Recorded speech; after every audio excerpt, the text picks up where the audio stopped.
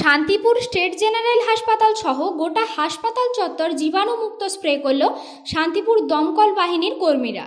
মঙ্গলবার Shantipur state general হাসপাতালের emergency ward থেকে শুরু করে আউটডোর ওয়ার্ড, কোভিড ভ্যাকসিনেশনের সমস্ত জায়গায় জীবাণুমুক্ত স্প্রে করলেন দমকল কর্মীরা। স্বভাবতই প্রতিদিনই করোনা রোগী থেকে শুরু করে ভ্যাকসিন নিতে আসা সাধারণ মানুষ শান্তিপুর স্টেট জেনারেল হাসপাতালে আসেন। কোনো কারণে একে থেকে ওপরের সংক্রমণ যাতে না ছড়ায় সেই কারণেই এই জীবাণুমুক্ত স্প্রে করার প্রয়োজন মনে করছেন হাসপাতাল কর্তৃপক্ষ।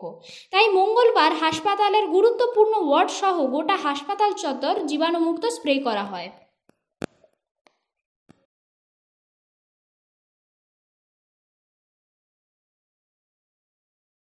হাসপাতালে গোটা চত্বর স্যানিটাইজ করলেন। কোন কোন জায়গায় করলেন?